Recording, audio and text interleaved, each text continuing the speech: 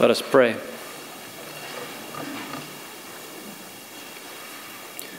Come quickly, King of Kings, as the light breaks over the horizon, and shine on us. By the light of your word, show us the path we are to walk. In Jesus Christ our Lord. Amen.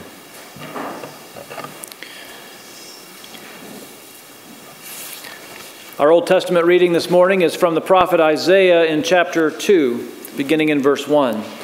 Let us listen to God's word for us today.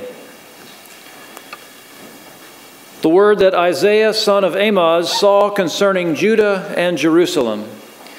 In days to come, the mountain of the Lord's house shall be established as the highest of the mountains, and shall be raised above the hills.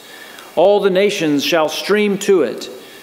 Many people shall come and say, Come, let us go up to the mountain of the Lord, to the house of the God of Jacob, that he may teach us his ways, and that we may walk in his paths. For out of Zion shall go forth instruction, and the word of the Lord from Jerusalem. He shall judge between the nations, and shall arbitrate for many peoples. They shall beat their swords into plowshares and their spears into pruning hooks. Nation shall not lift up sword against nation, neither shall they learn war any more. O house of Jacob, come, let us walk in the light of the Lord.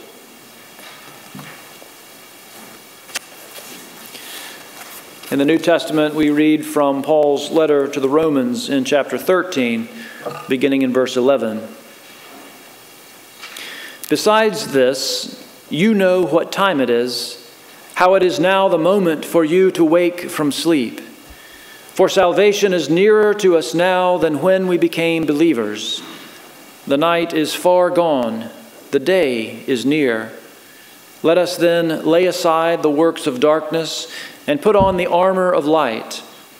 Let us live honorably as in the day, not in reveling and drunkenness not in debauchery and licentiousness, not in quarreling and jealousy. Instead, put on the Lord Jesus Christ and make no provision for the flesh to gratify its desires. This is the word of the Lord. Thanks be to God.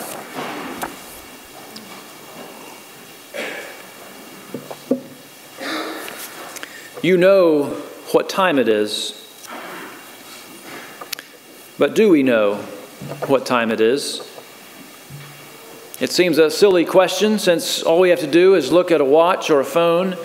But for all our digital mastery of the time of day, do we really know what time it is? Modern life is lived under the tyranny of time. Ever since the Industrial Revolution, when town clocks standing at the center of a community began calling people to work at their shifts in the factory, Life began to be lived by a much stricter time discipline. Sometimes these town clocks were even mounted on church towers so that the church became the proclaimer of the gospel of productivity.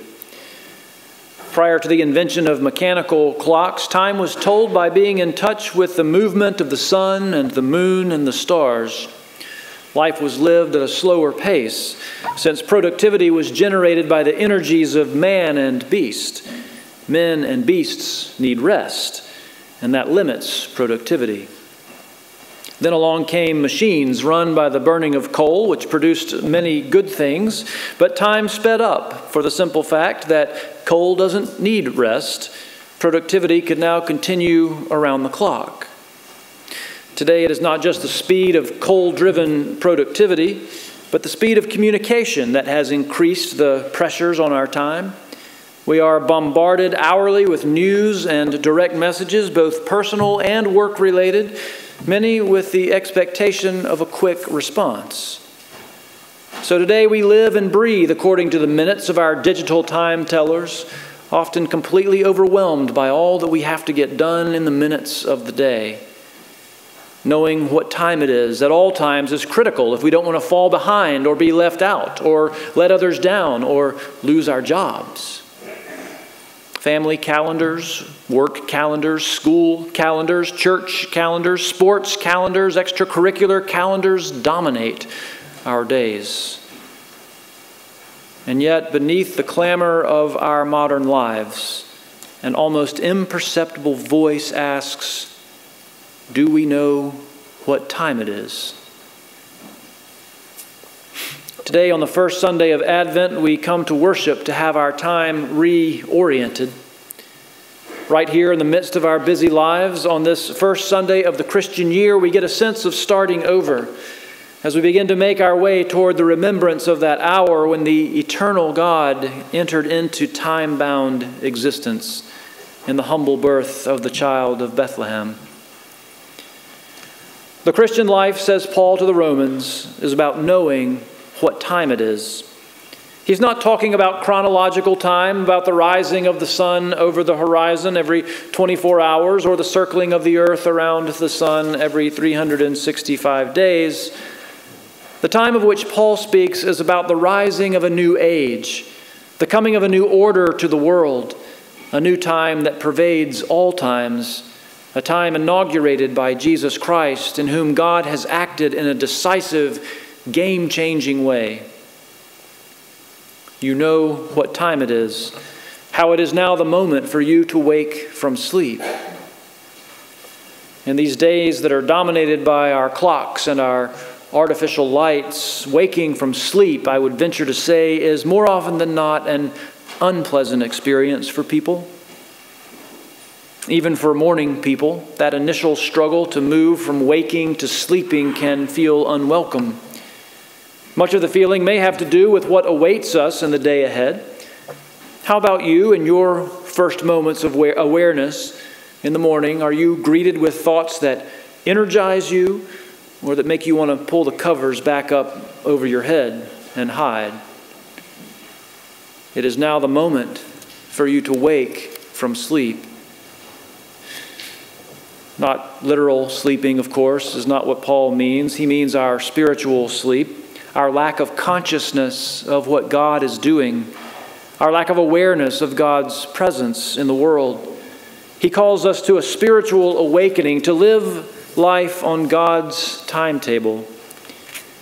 He invites us to be fully awake to the presence of Christ in ourselves and in others, to be fully awake to the eternal light that has broken over the horizon of all time. But Paul says in so many words that we've been sleepwalking.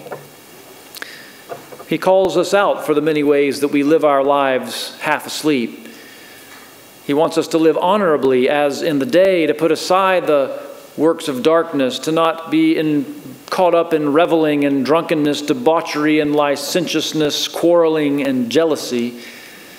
The Common English Bible, the ones that our confirmands use, put this more plainly. Let's behave appropriately as people who live in the day, it says, not partying and getting drunk, not sleeping around and obscene behavior, not fighting and obsession.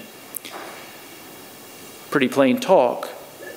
But Paul says that when we know what time it is, we won't waste our energy on these things that do not matter, these things that only distract us from our reason for being here. Paul is talking, I think, about our addictions by which we dull our spiritual senses and do our best to stay asleep throughout the day. Did you hear your addiction in that list? Are you addicted to alcohol or another drug of your choice? Yes, I have to ask that in a Presbyterian church of fine, upstanding people this morning. The Surgeon General just reported that one in seven Americans suffer from a substance addiction. Hmm. Oh, just the candle lighter, we're okay. The flame is where it needs to be. Just making sure you're awake, right? Yeah, one in seven Americans suffer from a substance addiction. Or is yours a sexual addiction, made so easy these days by the internet? Or perhaps a work addiction protects you from dealing with your personal pain? Or are you addicted to drama, always stirring the pot for yourselves and others, for yourself and others, not able to be happy unless you are unhappy about something. Or perhaps you're an adrenaline addict, seeking the thrill of sports or conflict or road rage or political campaigns, all of which keeps you from having to sit quietly with yourself and your God. Or a trivia addict, constantly surfing the news and celebrity sites, or spending inordinate amounts of time on Facebook, aka Crackbook as it's called, or Instagram, or whatever social media serves up your constant distraction 24 7. Whether it's a substance or sex or work or drama or adrenaline or trivia to which you're addicted, it's all about hiding from the day, hiding from wakefulness, because waking means there is real work ahead.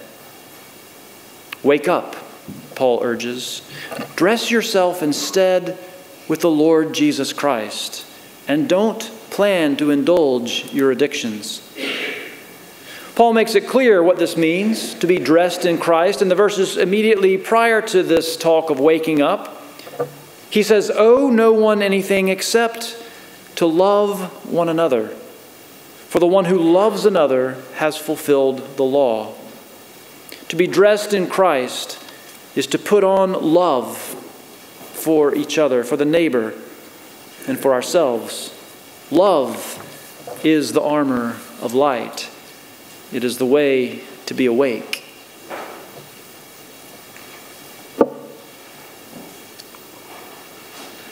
So, this would be the point in the sermon where I should tell you a story about a great armor of light victory, a success story about putting on Christ, putting on love. But the story I keep coming back to this week is more of a dilemma of love. There is a man, I just learned his name this morning. His name is Stephen. A man who is waking up and getting ready for the day very near to here. In fact, right on the other side of this wall, of this tree and these windows, it turns out that the little courtyard in between the outer wall of our sanctuary and our other buildings makes for a cozy, private little spot for a homeless person to sleep. Late last Saturday, a week ago, on the afternoon, I was on my way from one thing to the next, and I stopped in at the church to pick up something I needed for Sunday.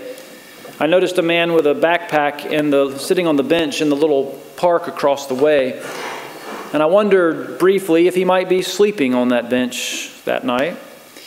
But then, keenly aware of the minutes ticking away on my day, I was off again, and he passed out of my awareness. Then on Tuesday morning, Tony and Howard discovered this man asleep in the little nook of our courtyard.